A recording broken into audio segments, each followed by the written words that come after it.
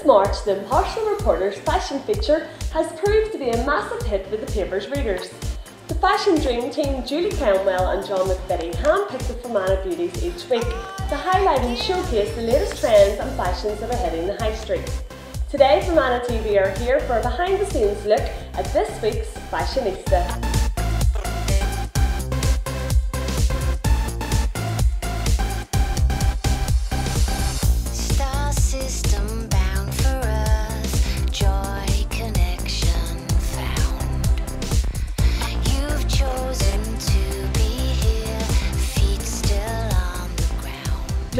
Hynes from Hillview in Enniskillen was this week's model, and although it was her first time in front of the lens, after a few snaps it was as though she'd been modelling her whole life.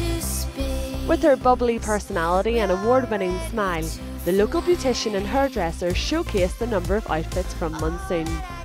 Michaela believes each look could be worn for the many events that occur over the festive season my auntie's manager Monsoon, so it's where I get to see all the stuff before it comes in and everything. So I've ended up buying them all because I love them. I love the flower dress with the sleeves. I would never in my life think of putting that on me, and it's really, really nice on. Um, we dress looks like an Irish dancer. It's nice. Um, this jumpsuit and um, the casual outfit, I would wear them, so I would wear them at special occasions. I love something different, something quirky.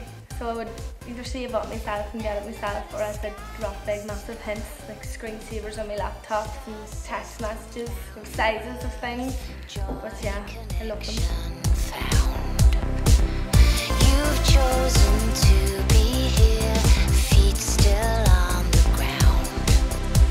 Joined now with Julie Kenwell, the fashionista of the Impartial Reporter. Now, you've been doing this feature since March. What is it about this feature that's so different than any other feature in the paper? I think it's just a bit of fun, it's really laid back, it just adds another dimension to the paper and uh, the thing with the impartial reporter, we want to make sure that there's something for everybody to read, so um, this is just another dimension to that.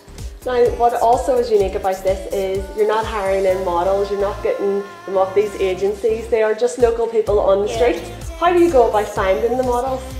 Uh, really, just going on a street watch to see if there's anybody that stands out. That's really it. And who does this? Is it yourself or John? It would be a mix between the two of us, but usually John would, would point them out.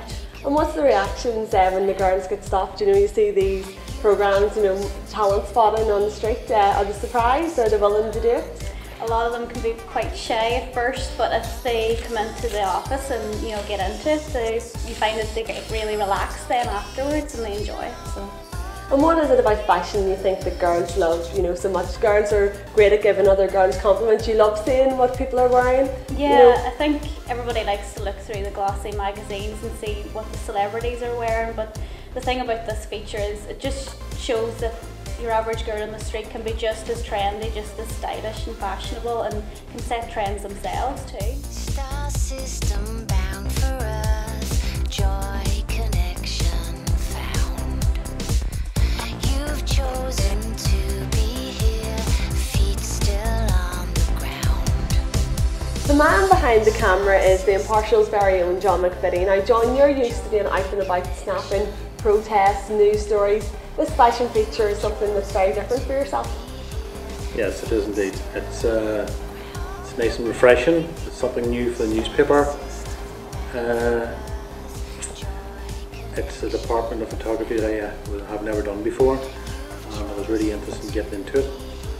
So it all just clicked together and mentioned the idea to Denzil and Denzil says, yeah, good idea, go for it. Now, a few of the girls that you've taken pictures of have went on to become models. You know, this could be like a stepping stone for them. Hopefully, it's a, an extra bonus if they do go on for me.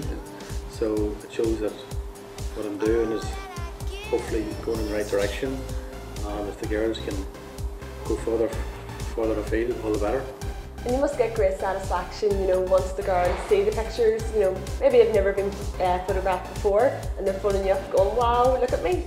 Yeah, I do get a lot of good feedback from the girls. They usually send me a text message but thank me very much for persuading them to go to go and do the shoot, and uh, it's really pleasing. Is it difficult to get them to be models, to pose? You know, do you have to give them direction or do they bring something to it themselves? It's very difficult to start. Usually they're very, very nervous and they just stand in front of me and go, John, what do you want me to do? So you have to sort of get them relaxed, get them to express themselves, and get used to being in front of the camera and forget that I'm there shooting and just be yourself. It's a tough challenge. When you look at all these magazines, you don't realise that magazine photography, then people are shooting probably for days with the one model, and you're trying to do the same probably within an hour. There's somebody who's never been in front of the camera before, so it's a nice challenge.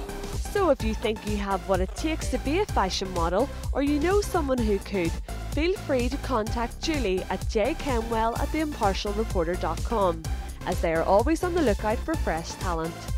To see Michaela's full page spread, check out The Impartial Reporter. Aislinn Hagan for Fermanagh TV.